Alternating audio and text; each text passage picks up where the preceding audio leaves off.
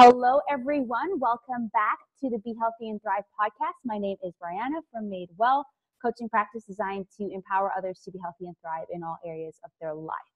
Right? So, at the very core of the mission statement of Made Well, of my business, is to help people be healthy and thrive in all areas of their life. Right? So, on today's episode, I kind of wanted to just define that. What does it mean to be healthy and thrive? And what does it mean to be healthy and thrive in all areas of your life, of your life, right? And so this kind of goes along with like a kind of an inventory guide or training or exercise that I often do with clients and the members of the Whole Woman's Health Club, which is my membership community, kind of centered around these seven pillars we're going to talk about. And what we do on that guide uh, and that exercise is really start to identify seven main areas, but then we get down into a little bit of specifics around where do we feel most satisfied and dissatisfied? Because often when we think about health, we think about the physical body. We think about being physically healthy and physically well. And that is very, very true. If you know me, if you know what I'm about, you know that I do believe that's the foundation. And even in my own story, it wasn't until I really started kind of looking at that uh, that I really started to even look at all the other areas of my health and my life. But I really just wanted to take this episode to really kind of break down what are my definitions uh, for the seven pillars of health. What does it mean for, what do I want to see when I interact with you or hear from you on how you are being healthy and thriving? And I'll start by saying, although it's my definition of this particular area, although these are the seven areas that I believe we all should really pay attention to, I think we all know at the core of our being what being healthy and thriving in our life is like, what we desire and what we want. But the thing is, we often put that desire on a back burner. We often say, no, this is what I should do versus this is what my heart is really saying. And, you know, God's spirit is saying, this is what you should, this is what the way to walk, right? So I want to remove the pressure of, of feeling like we need to fit a certain box in any of these areas, right? I, as a coach, I'm not necessarily a consultant or not necessarily a strategist. Those are definitely two of my strengths, but I'm not here to really tell you what to do. As a coach, I, of course, I can give you advice. Of course, I can make recommendations. But I often think that when I, especially when I work with my clients and when I interact with people and have conversation, people know at the core of it what they want and what they should do. It's just there's something blocking them from fully walking in that. Whether it's a mindset issue, whether it's a habits issue, whether there's an actual obstacle that is outside of their control. Right? So I really want this episode to really be empowering for you. I want you to leave coming up with a sort of plan and just coming up thinking through what would it be like for you to be healthy and thrive in the seven areas that I'm talking about, right? And I'll mention a little bit around, you know, my definition of it, the different seven areas, a personal story, kind of a client uh, testimony, and then a kind of an action point for you. Uh, but be sure that you sign up for uh, updates for the Be Healthy and Thrive podcast because when you do that, when you sign up for my mailing list, I'll send you this inventory guide, that exercise I was talking about, along with uh, a tutorial on how to go through it, as well as seven different interviews that I have done with uh, seven different women in these particular areas, just so you can maybe identify the one or two areas you really need to start with, and then listen to an interview with another woman who, uh, woman who is actually rocking it in that area, like that's her life's work, and really be inspired in that way. Okay, so let's kind of like go and give you a little bit of background my context i talked about it in the last episode but for me, I struggled a lot in the physical health area and actually all the other areas, but the physical health was the biggest thing at the time. And I often felt hopeless and I often felt like there were so many competing thoughts that I did not know what to do. And I tried this one and that one, and none of it became sustainable. But when I started to see that my physical health is actually connected to these other areas, mainly emotional, mental, spiritual, those were the three other ones at the time that I really stuck to. I started to actually find a lot of freedom and victory and success in the physical health area when I started to look at my, my whole body and life as a whole, right? Because for me, what my main struggle was in that physical health is it wasn't, oh, I can't eat right or exercise consistently. It was the fact that there was actually a lot of stressors that was going on in my life, a lot of things that I thought about myself, I thought about the world that impacted and manifested itself in my physical health. Okay, so just know from the very beginning, I believe it's all connected. And I hope you will come away from this seeing and feeling the same, right? So, kind of let's start a little bit on the main area that I think that most people think about when they think about health, and that's your physical health, right? So, our bodies, whether they are they are healthy and functioning well or not, really dictate how we show up in the world. It dictates our energy, it dictates our ability to focus, our ability to move and function, to sit, to stand, to walk, um, our ability to interact with people and be engaged with people, our ability to to work, our ability to just to do about everything. So if our bodies are not working the way that they're designed to work at their optimal capacity, internally as well because there's a lot of things that go on behind the scenes. We have a lot of different systems that are so cool to study if you ever studied. I, I just always remember being very fascinated in health class, like the cardiovascular system, the skeletal, skeletal. People, I had a teacher who said it's skeletal, and I'm like, for the longest time, I called it skeletal system. Skeletal, reproductive, uh, you know, excretion, digestive. Like there are tons of systems, and they all work together, which is so cool. But if we are not doing our part to make sure they're all working together, it's going to show up in a lot of ways that we honestly accept as normal. So I'll give you an example. I um,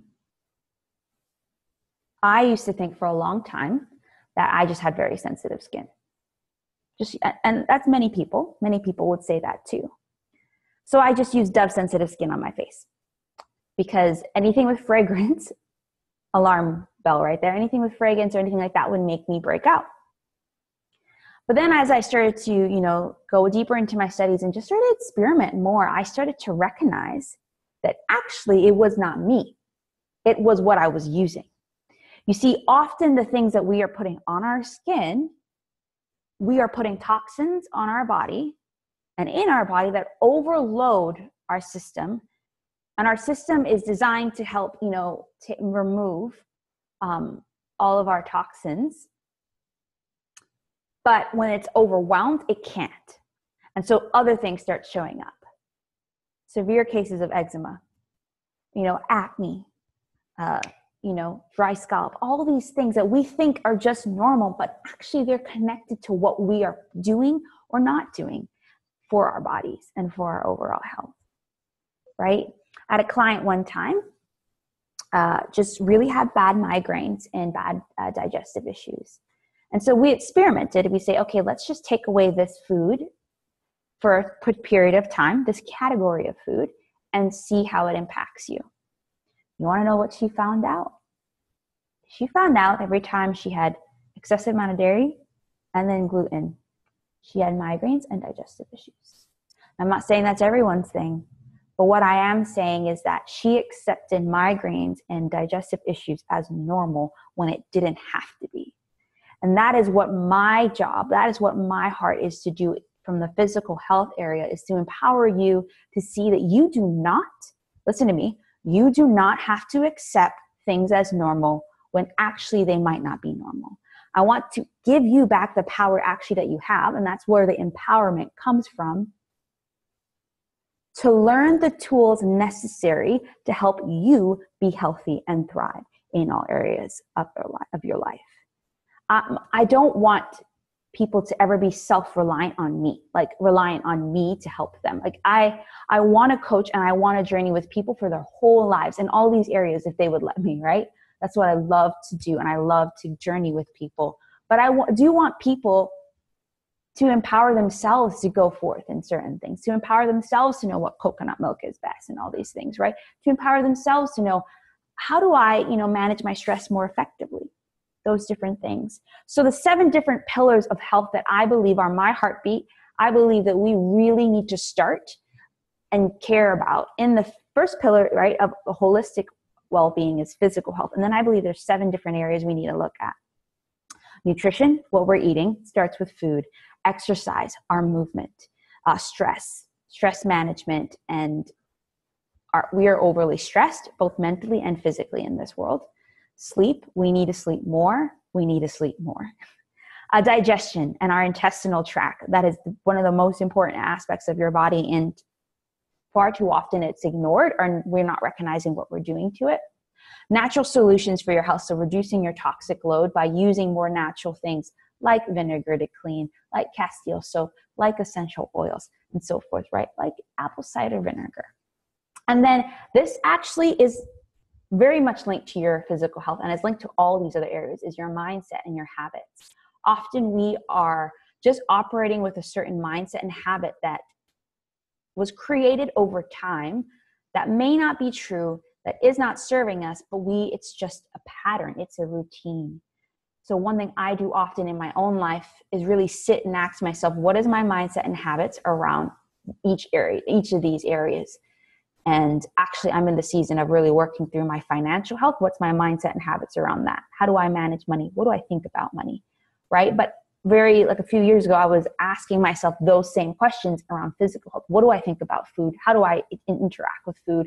What do i think about stress? All these different things right? And so i really want to encourage you as you're listening to this ask yourself in the area of physical health when you're thinking about nutrition when you're thinking about exercise stress sleep digestion toxic load and natural products and solutions and your mindset and your habits which of these seven areas do you know that you need to work on, that you need support around, that you really have an action actually in your head, but you haven't implemented it? And just commit today to starting that.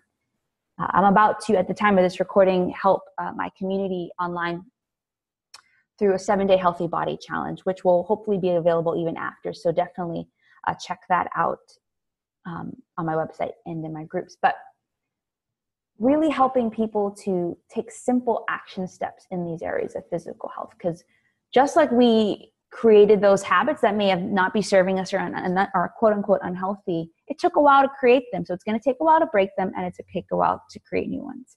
So that's kind of what i journey with my clients with as well is really not saying okay here you know i'm working with you for three to six months let's fix everything. No let's start and let's make that one thing you are working on that when you were done at least that period of time together, it's a new habit, right? So that's kind of where physical health and kind of what I think about that. So, mental health, I believe mental health is something that every single person should look at and pay attention to. Often we look at mental health as something that oh we we see the negative. We see oh this person's not mentally healthy. Oh they need to go see a psychologist. When in actuality we all have thought patterns. We all have beliefs. We all have philosophies that may or may not be serving us and may or may not be true. And so it is not just certain people that really should talk through what's going on in their mind. I think we all should. Some of us may need a little bit more uh, help from specific people who are trained in it some of us may need uh, more uh, more opportunities to talk with those people and to talk through it. But I believe our mindset and our thought patterns and our and our beliefs will dictate our behavior in every situation. And so, mindset is something that I have been exploring personally, especially in my business for the last year and a half, two years. I remember doing a session with a client one time and we were going to go through mindset and habits in regards to physical health. And I just remember sitting there and saying, I need to read through this all over and over from my mindset towards success, um, towards accomplishment, towards everything in my business, because it does not stop with just this one area. area. Mindset underlies every single area of our life because we make actions based on maybe there maybe they're you know habitual things like for example driving if you know the path to drive home, you could drive there mindlessly almost, right? Well, sort of. Like subconsciously, you are thinking about where you're going, but you're not actively. And often it's those underlying beliefs, kind of like underneath the water, that dictate our life, dictate our how we show up in the world. That those are the ones we need to address. The root belief, the fundamental thought um, of that thing. So, in regards to, say, physical health, we believe that all we need to do is eat right and exercise, sleep, and be good. And we believe that a certain pattern or certain diet or certain way of doing it is the best way. But maybe it's not. Maybe we actually need to empower ourselves to think it through ourselves. I've tried every diet under the sun. And I found a way of eating that works for me after learning why and after learning and experimenting with it. And that's what I want to do for you. I want you to stop thinking how other people are thinking and to think for yourself and to really empower yourself in every one of these areas, not just physical health, right?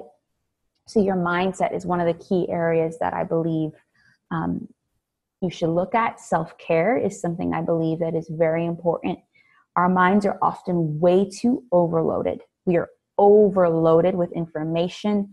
Uh, if you're like me, I'm a super future oriented person. I'm thinking about the future, but also the present. So my mind is going all the time. So the best thing for me to do sometimes is take a weekend off and just journal, just pray, just do something that's revitalizing, rejuvenating, and renewing. So that's my version of self care for my mind.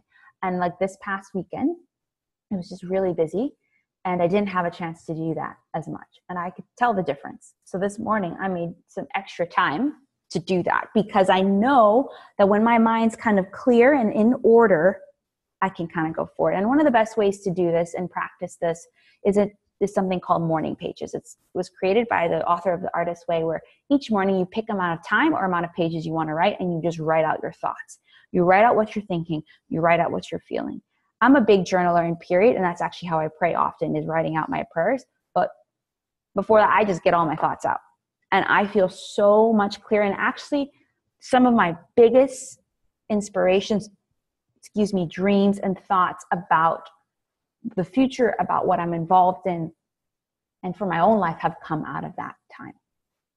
So some sometimes it's like to me my most prized possessions are not just the books I buy, but my journals because when I go back and read them, I'm like, man, I thought of that. That's awesome. Uh, oh wow, that's what I was going through during that period. So I believe what we're thinking has a lot to say about who we are, what's going on in our life, and sometimes the best way to get clear on that is just to write it. And so yeah, so I think we all need to define mental health. We need to look at our mindset um, care for ourselves and also some you know if we need to seek professional help there's no shame in that.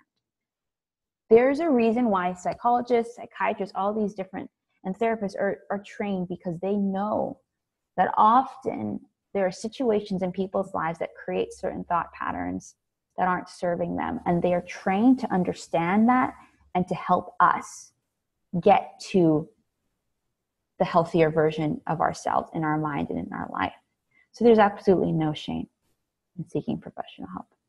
All right. So definitely, again, so physical health, mental health. Emotional health. So when we think of emotions, what comes to your mind? Okay, when you think of emotion, what comes to your mind? Probably women, probably that time of month. Probably high strung, probably anger, probably fear, probably happy, probably joy. There is an array of thoughts when it comes to emotions, and there's an array of emotions that come in everyday situations. So, our emotions, so what we feel or how we respond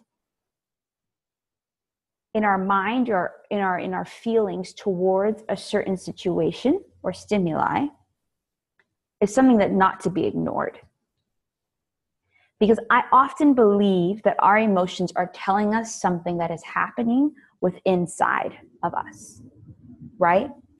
And so it's really important that we dig into that. We own that, we process it, and understand if this emotion is true or not, and understand if it's something we should be feeling, if we and and it's something that we should act upon because, yeah, I believe our emotions dictate to us what we should do. But at the same time, we shouldn't just rely on our emotions, but they are telling us something. So when you're fearful of a certain situation, if you're fearful of, say, uh, you're a student in college and you know that this one exam is going to help you get an A or not in this class, and you're feeling anxious and you're so afraid. Okay, so why are you feeling so afraid? Oh, well, maybe it's because I want to get the A. But more importantly, why do you want to get the A? Well, I just want to do my best. But okay, so why do you want to do your best? And often when you go deeper, deeper, deeper, you find that there's an underlying reason why someone is striving for the best. And it's not, I believe we all should strive for the best. I am definitely a high achiever.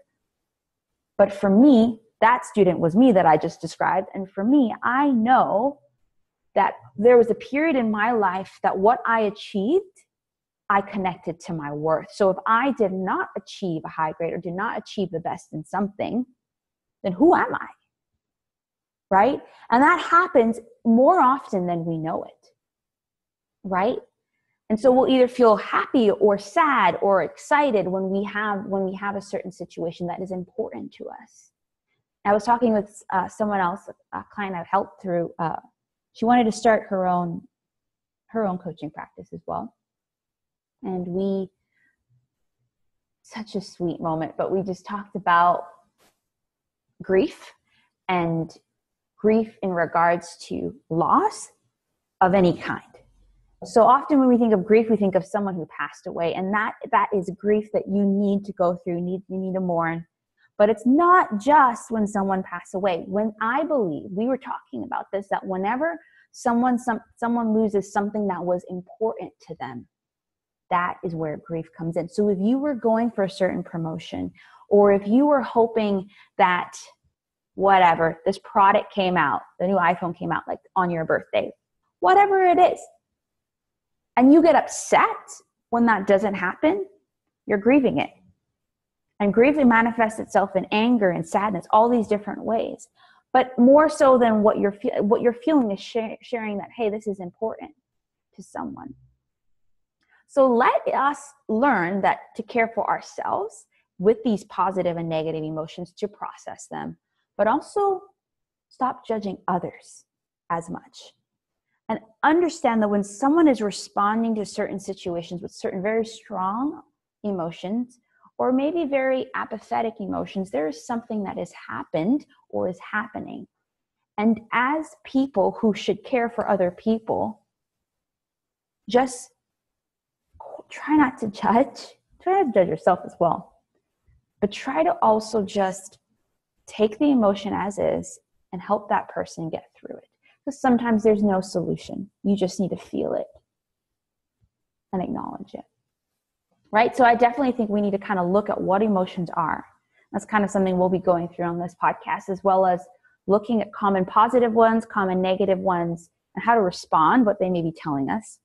And then how to make goals or, or pursue the emotions that we're feeling more like. How do you want to feel? And so there's a great uh, uh, concept or something by Danielle LaPorte called the desire map that talks about that talks about rather than making goals based on what you should do, how do you want to feel? And I remember going through that session one time with Annette Stevenson. She's a she's an audiologist here, but also a business transformative coach. And I just remember the lifestyle and livelihood section. And I remember two words that came out for me that was just so empowering and so freeing was that in my lifestyle and livelihood, I want to feel secure and I want to feel successful. And so up to now, that's how what the, the, the that's the what that's how I want to feel. So when I say I go like I want to share oils with this many people, I want to coach this many clients, I want to reach this much income, that really is not at my actual goal. What my actual goal is what I want to feel. I want to feel successful and I want to feel secure secure in who I am, secure in being taken care of, all those things. So you see the difference there is that actually what appears to on the outside as like Brianna is just a high achiever. Like Brianna like wants to get oh she's doing all this. It's like yeah, but I'm going to tell you actually I want to achieve those things because I want to feel a certain way. Right. So looking at those emotions are so so important. Um, yeah, if you haven't checked out the Desire Map book, definitely do so. Um, and then the next is spiritual health. So so far we talked about physical, emotional, and mental. Now we're going to talk about spiritual health. This is something that you may or may not disagree or agree with me from this point on, and you may or may not listen, and that's totally fine.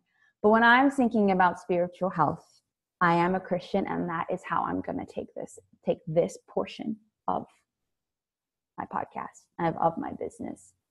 I believe that my relationship on our relationship with God through His Son Jesus Christ is the most important area of our health that we need to pay attention because for me, it was not until I got in check with God and understand that God wanted me to be physically healthy. God was God was putting everything in front of me, but I was holding myself back that things actually shifted.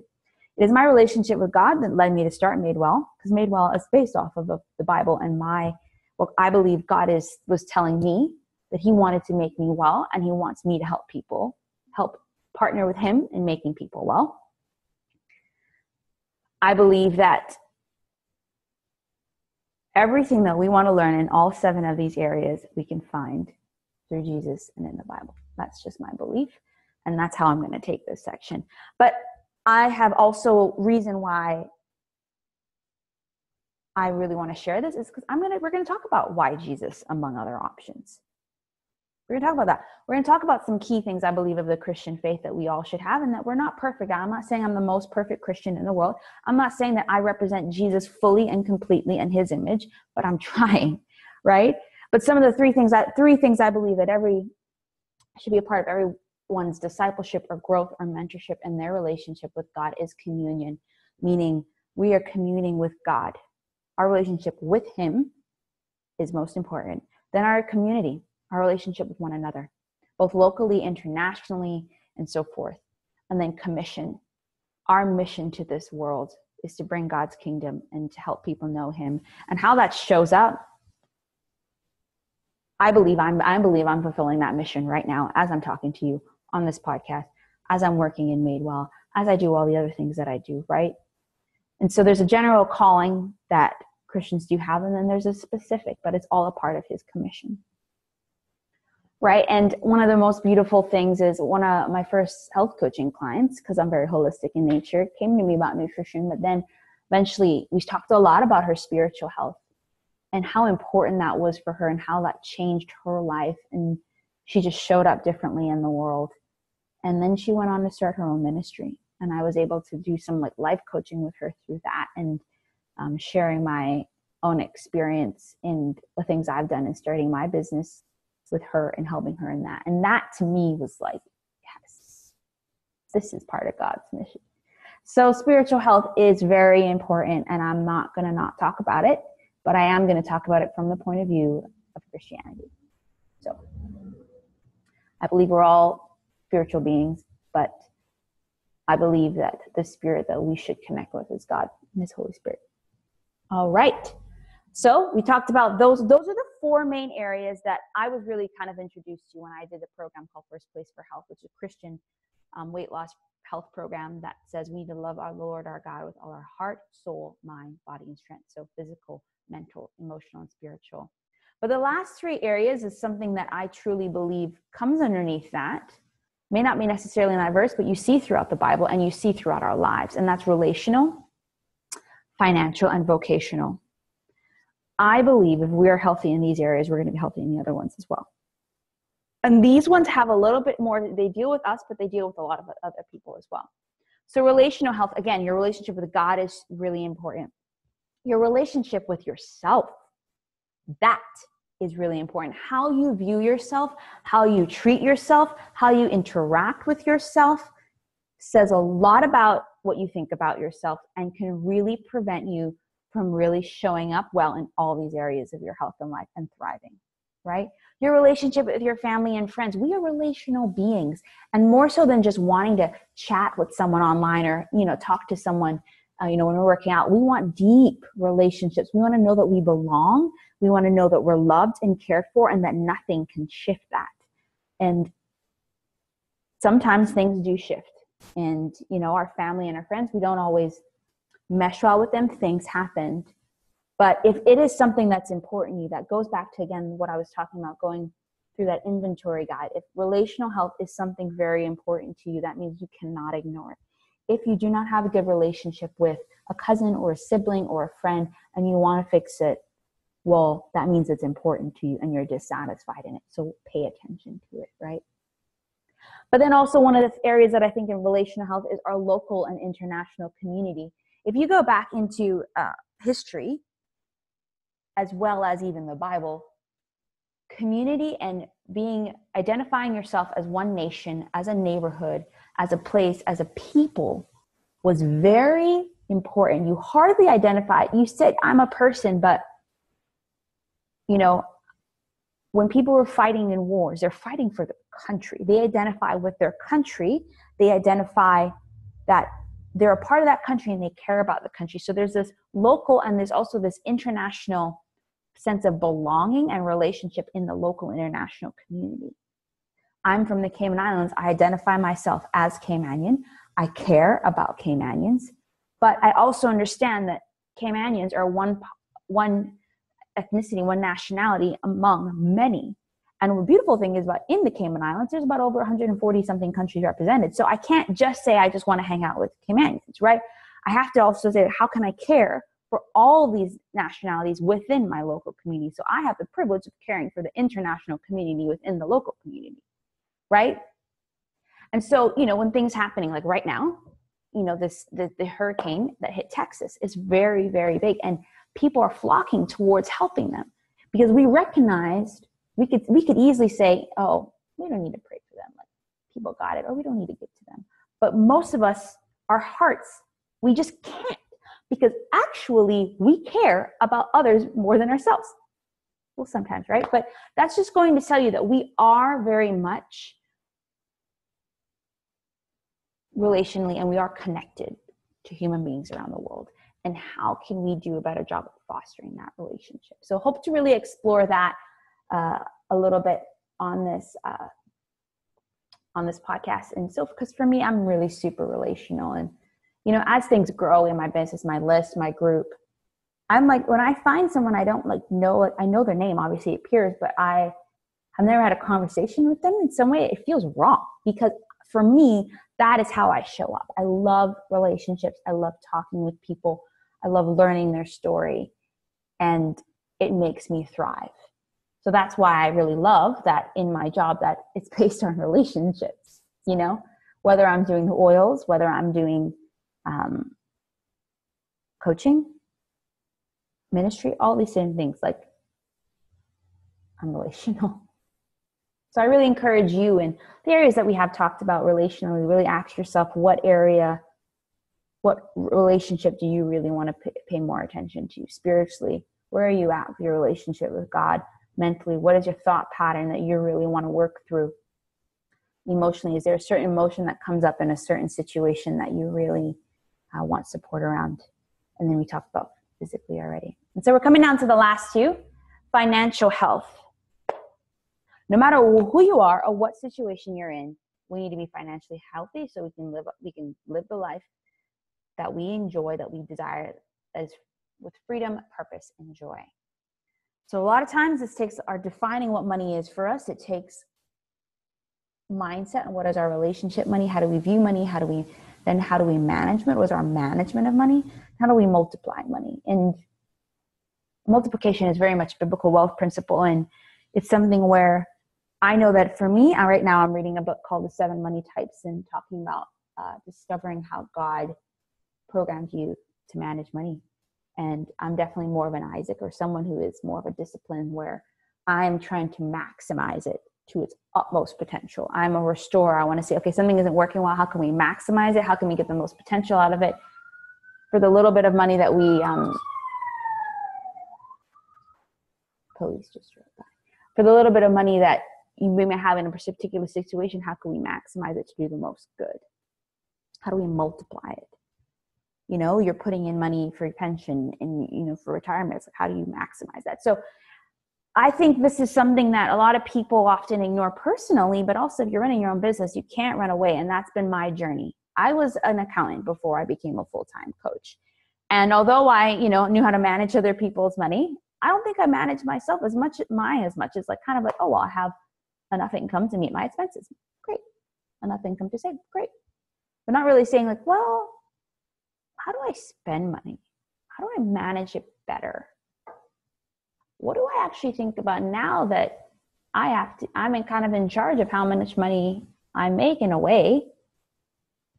How do I actually view it? Do am I viewing it from an abundance mindset? Am I viewing it from a scarcity mindset? So all of this stuff really is something I've been exploring, and I feel so much more empowered now to be able to be financially well to be able to enjoy the money that I make, to enjoy saving, to enjoy spending, and all these different things. So, defining our relationship with money, looking our mindset, looking at how we manage money, and looking how we multiply it is some very key things. And I have a current uh, client who's kind of an, you know, is entrepreneur as well in multiple areas, and they invest. And just, you know, we were talking, uh, we were talking a couple weeks ago, and just the investment game is tough. I mean, that's what I'm doing with my time, with my money, like uh, this business. But investing, it's like your money can either multiply very quickly or it could go away like that. So, what we were talking about is just working on their mindset. Like, how do we create healthy boundaries for you in your mind? How do we condition your mind for success so that you can manage your money well and so you can multiply it well? Right? So a lot of these concepts, whether you're an investor, whether you're an entrepreneur, whether you're just doing your personal finances, apply. And so it's very important for us to look at this area, and we'll definitely be exploring that uh, more so throughout this podcast. And then the last area is your vocational health. Each of us, I believe, have a beautiful calling, and that's what vocation means calling. And it can be different from your occupation. Occupation is mainly your job, it can be one and the same. But I believe we all feel that there's something deep within our heart we're made to do. And I recently uh, finished a series called Catalyze Your Purpose, a seven part series. And in that, I talk about seven P's around that. And how do you explore, how do you discover, pursue, and thrive in your purpose? And one of those things was discovering who you are as a person, knowing your unique shape. And shape is kind of a, there's many other other tests you can do. I'll talk about those in a bit, but shape is kind of uh, it's a spiritual ministry assessment test called where you look at your spiritual gifts your heart your abilities your personality and your experience. And the personality and who you are as a person is a key indicator right? It does it does help but it's not the only thing. So that's why we go look at all these other areas. But you know there's other tests such as uh, the myers-briggs um, myers-briggs test uh, there's the enneagram there's the strength finders uh, and then there's even for you know the spiritual gifting part in calling is the apest which means uh, the fivefold ministry apest prophets evangelists shepherds and teachers. So there's a bunch of different other tools to help you with that. So uh, definitely check the ones i mentioned out as well as go to my blog madewell345.com to look at the seven part series uh, around this and the second part is after looking who you are as a person is looking at your your passion and looking at what are the things that you're passionate about. When you usually think about X, Y, and Z, what do you feel? Right? And what comes up? And what could you like do for what would you do for your whole life for free? Like that's kind of indicator of what you're passionate about, right? The next thing is potential, like discovering the potential within. Like a very great book that kind of started this purpose journey and thoughts for me was around as maximize your potential by dr myles munroe. And he wrote many books on leadership and purpose and potential. And an awesome quote i can't quote it exactly but an awesome quote from him talks about every person like on this earth pretty much was created because there is a, and there's a purpose that demanded their existence on this planet. Like god created us each for a purpose that demanded our existence and for me like i just knew i couldn't couldn't argue with that i had to pursue my and um, my coaching business right i just had to and that's really what i want to help people do is thrive in their purpose as well and discover that. And so I journey with clients in that area as well. Um, and then the fourth one was push through fear. fear is going to come up whenever you're about to do a breakthrough, about to move towards something that you're called to. Fear happens daily, if not every minute. And so it's definitely something that I work through personally and help my clients work through. Like, why is that fear showing up? And how can we push through that in a way such as knowing your why, setting realistic and smart goals, and so forth. Then the fifth is creating a purpose plan. And that's just really like, how are you going to go ahead and start really pursuing that purpose? Like, if it is to start a blog, what's your first step? Is it really figuring out what your blog's mission is about, what the vision is? Then is it buying the domain? Where are you at? Oh, maybe you have that, but maybe it's starting to uh, adding more blogs more regularly, sort of thing. And then the next one is promotion plan. How are you going to share and promote your purpose? Promote, promote that thing, regardless of if it's for money or not. How are you going to invite others into it? Because I don't know about you, but when I'm excited about something, you know, it's going to be everywhere because I believe it's something worth sharing. And so if there's something you're creating or something you're doing that's worth sharing, how are you going to promote that?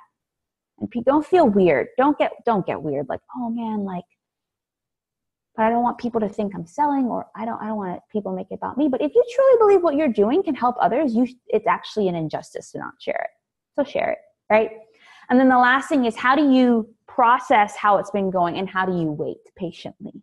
Right? Because although we are we're making motions, it's like you're planting seeds and you're you're making you're making steps, but you might not get to your result right away. So how do you actively wait? How do you still take um, steps, but don't quit because it's not where you want it to be, right? And the same thing with my journey in regards to my career. Like once I knew like I wanted to do health coaching, I eventually I still worked for a while and I just took a less demanding job and I went part-time and now I'm doing this full time. And it's not perfect, but I'm making steps towards it, right? And so it's not going to happen in a day. Whatever it is you're doing, whether you want to start something new, whether you just want a different position in in your uh, firm what is if you want to you know get promoted it doesn't happen in a day so what steps do you need to do to get there?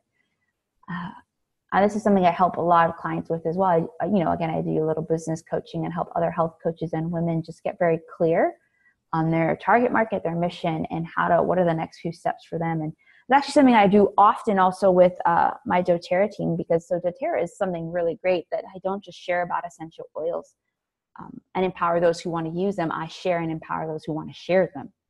And so I have uh, some different leaders on my team who say, I really want to share these oils and integrate this into my, my business or create it as a separate thing where, oh, I, maybe I just want to get my oils for free, or maybe I want to create an extra source of income.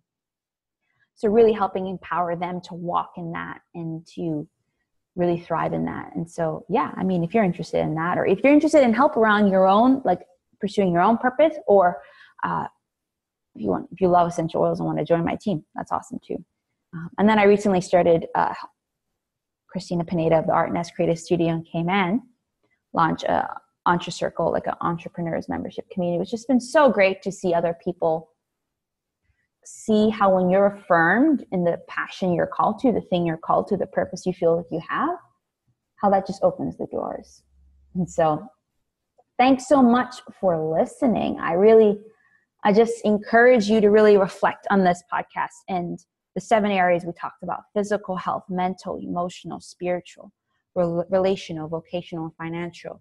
And ask yourself what is one step you can move forward in that so that you can become more satisfied and you can grow.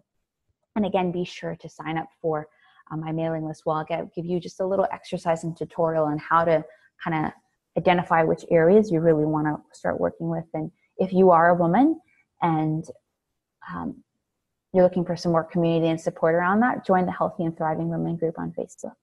Uh, but stay tuned. I just uh, I I kind of share in different places, right? Instagram, my blog, now this podcast, uh, my Facebook group, and my email list too. So even if you're not a woman and you're like listening and you're like, I want to stay up to date, I want to grow, uh, definitely stay on my mailing list and definitely keep listening in, to the podcast as well as reach out. You know, just be so I do coach women but I also coach men. I have like two or three male clients right now, but you know, so but the group online is just for women. That's it. So if you are a man, you know, you could reach out to see if you need some support in that. So that's it for this episode. Stay tuned for some upcoming ones where what I'll do from here is kind of focus on an area of health for a particular period of time and invite uh, some other you know other women other entrepreneurs other people just to speak into those specific areas as well.